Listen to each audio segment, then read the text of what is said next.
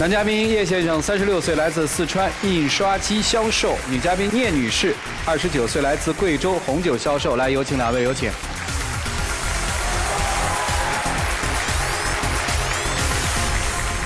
欢迎两位哈，是在深圳打工的时候认识的，对吧？对，到现在有多少年了？快十年了。现在咋了？现在他做销售嘛，早出晚归的，把孩子接回来也是我一个人在带着。多大呀，孩子？八岁了。哦，知道先生这个吃干醋吗？他吃醋，对于我现在，因为我不喜欢这么年轻的就在家做一个全职太太。我想我出去奋斗一点，然后呢，让我们这个家庭会过得更好一些。哦。但是他总是对我一点信任度都没有。每次我出去吃饭喝酒的时候呢，我可能一晚上可能打个七八次。但是有的时候你也知道，在酒桌上的时候正在谈着事儿，他突然一个电话一个信息的发过来，我就是很反感。有的时候呢就不接他的电话。这时候吧，他就把我老家的儿子搬出来压我，就让儿子给我打电话，跟我说：“妈妈，你早一点回去吧，你不要在外面老喝酒了。”你说你把儿子搬出来压我，我听到这种话的时候，当时心情真的是很不好。回到家之后呢，又是一顿争吵。那就减少点应酬呗。但是有客户要求，我们出于一个礼貌性的也会去应酬，但是也不是经常的。就平常如果正常的话，大概。几点钟能回家呀？我正常的话，我会在十点到十一点之间一定能回来，因为我自己也知道自己现在是一个母亲，也是一个妻子，也有一个自己的小家庭。因为我有的时候你要工作都会用微信呐，然后或者打电话。他有的时候呢，趁我不注意的时候就偷看我的手机，然后甚至就把我的合伙人给删除掉。而这不是一次两次，是很多次。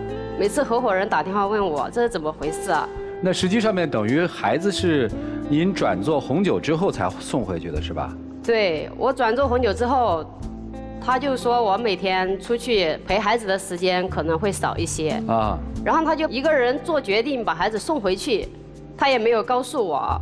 送回老家有多久了？一年多了。一年多了。对对对。你是爹，你也可以带呀。但是我也有我的工作啊，晚上的时候几乎都是我在带，他都在外面的。你说这样子也不行啊，送回老家嘛，我叔叔婶婶帮我带。跟我说句实话，你当时把儿子送回老家，是不是想以此为要挟，让你妻子不干这个了？当时也有这样的想法吧。在他转做现在的工作之后，你们提过离婚什么的吗？有。谁提的？我。为什么？他经常跟那个合伙人一起出去喝酒，我就觉得反正他们之间应该有什么事儿，所以说我那天晚上他回来的时候，我提出了这样的要求。然后呢？当时我也是很气，我说离就离了吧，反正你现在也这么不信任我，过下去也没有什么意义，对吧？但就有的时候想到孩子这么小，是吧？然后就没有妈妈，有的时候想，可能心会软一下。以前感情好吗？你们？以前感情很好。就刚认识到有了孩子，我们都是一家挺和睦的，然后过得也平平淡淡嘛，也不是说什么大富大贵。怎么突然之间你就想，说我希望我出去转一个职业哈，能挣更多的钱？怎么会突然有这样的想法的呢？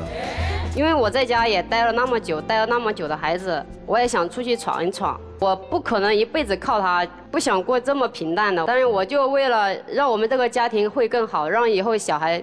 在我们身边呢，不管是学习还是怎样，都是给孩子是最好的。你是家里的老大，大姐，他们会问你要钱什么的吗？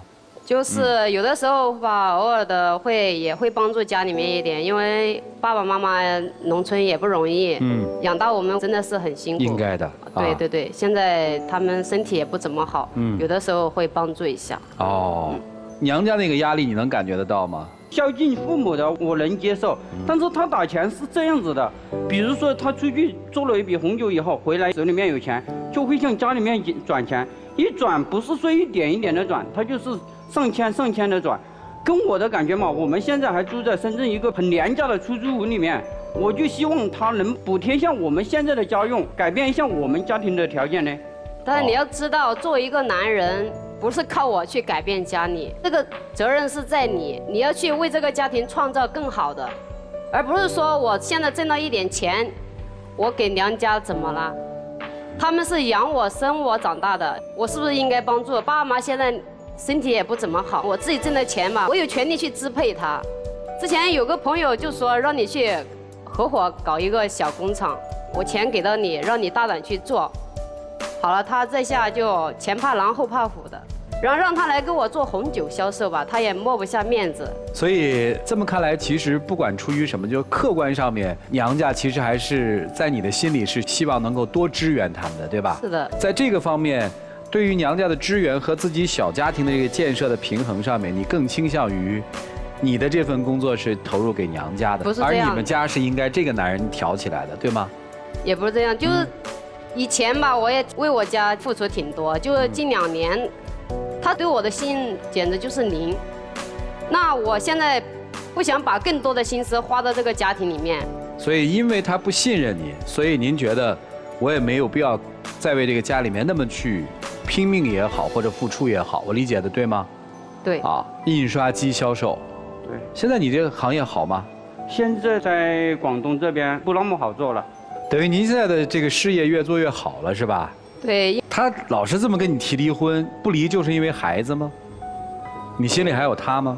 他这样闹下去，我现在对他一点一点感觉都没有。所以你们俩现在的生活是什么样的？谁能描述一下？现在生活就是我每天。工作回去了，他就出去宵夜，出去打牌，然后陪朋友一起去喝酒，但是都不是一些什么工作上的事情。嗯，他甚至有的时候回来的真的是很晚，有的时候在家的时候吧，我回来还看他一张冰冷的脸。我就觉得这个家里面，我回来没有感存到有一丝丝的温暖。最主要是他长期在外面，我一个人在家又能玩什么呢？我也只能出去找一点自己的不是人家不是十点十一点就回来了吗？我也是稍微晚一点也回来了。所以你别老理直气壮嘛。那今天来这儿的目的是什么呢？就是我实在是受不了他每天对我冷嘲热讽，他天天这样的去说我，你说谁会受得了？你有想过跟他离婚吗？其实如果不是这两年。他这么无理取闹的，我也从来没想过。但是现在我真的是受够了，我指的就是现在怎么办？现在我就想跟他离。好吧，刚才他说他也想带你去做销售，开个夫妻店，对吧？你现在这个想法还还是这种想法吗？是的。干嘛不去啊？那你成为他合伙人不就得了吗？因为我要做什么事的话，我想靠我的双手把它打起来，我不想用他的钱来做起来什么生意。过去你们家的经济是谁的钱谁花还是怎么着？我们都是自己的钱自己花。为什么没合在一起呢？因为当时我也在家带孩子，然后也没有什么收入，他的钱嘛，也就是每个月给点生活费这样的，然后其余的多的钱我都不知道。唉，所以好矛盾，好冲突啊！丈夫是想继续下去，对吧？对。带条件吗？不带条件。啊，不带条件啊！您是？让您干就继续，不让您干就不继续，是吧？对。行吧，接下来我们一起进入丘比特问卷。千万不要激发女人的奋斗心，一旦激发了女人以奋斗为目标的这颗心的话，你可能九头牛都拉不回来了。我现在很明显能看到她有一个非常坚定的信心是什么？离开你，我过得会很好。跟你在一起的时候，我可能是在委曲求全。聂女士，今天看得出来你的决心很坚定。至于你为家付出，至于你说女人要独立要强大，这个我很赞同。可是，在强大和独立的同时，在这个过程当中，到底是什么原因？问心无愧就好了，好吧？好，谢谢。好，谢谢尚娜老师。来，曲总。我觉得你们俩之间发生的这些是，每天晚上都十点到十一点回家，我们至少是一个家庭女主人的角色，可以有忙碌，可以有应酬，这样的时间，这样的每天日程的安排，你让你的丈夫如何去信任？他不信任你，是因为你在这个家庭当中角色的缺失，感觉到这个女人的情感，她的心不在这个家了，他才会不信任。这和你的工作是怎样，你每天忙碌到什么程度有关联。老师，来涂老师，我们鼓励女人活出自我，但不是活到最后自己的世界没有别人，只剩下自己。那那样活出自我的成功，到最后一起去销售去吧。人家要真给你去，你带吗？带。真带还是假带啊？真带，只要他肯上进、肯努力。啊，听见了？还爱他吗？爱。以后别再说那些伤他心的话了。好。即使是离了婚也别说，做得到吗？做得到。至少曾经是爱过他的吧？对。如果曾经爱过他的话，请你给男人一个尊严吧。老婆。妻子放的是一把修刀，啊。丈夫的是两卷纱布，好像。我们看到的是物件啊，物件背后的含义我们不知道。你送他这个什么意思啊？一把刀。因为当时我们一家三口在深圳的时候其乐融融。当儿子满一岁生日的时候呢，他就买了一把这个削铅笔刀。当时他就把儿子带到我们门框上去，当时儿子也就这么高一点儿吧。他就用那个刀在那个门上刻了一个印，然后每满一岁生日的时候都会刻上。但是这么美好的记忆，他就停留在我儿子六岁那一年，他就私自的把儿子送回老家。但当我每次应酬完回到家的时候，我就坐在那儿静静的看，就会想。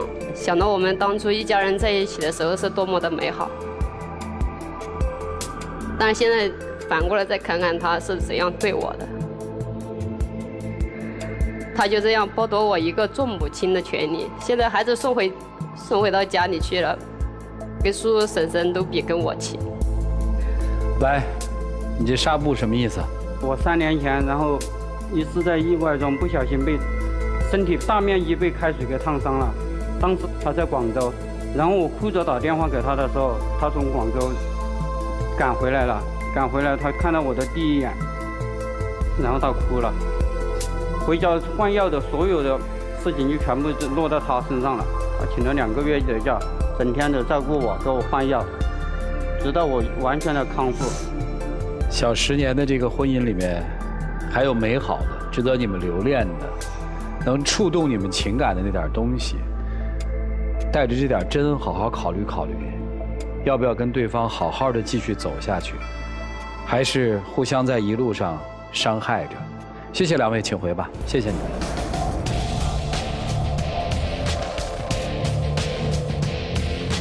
来，请关门。好了，电视机前的观众朋友们，欢迎大家登录优酷视频、腾讯视频、爱奇艺、搜狐视频，观看我们节目的完整内容。我们来看这一对自己的选择吧，请开门。有请我们的小花童，有请。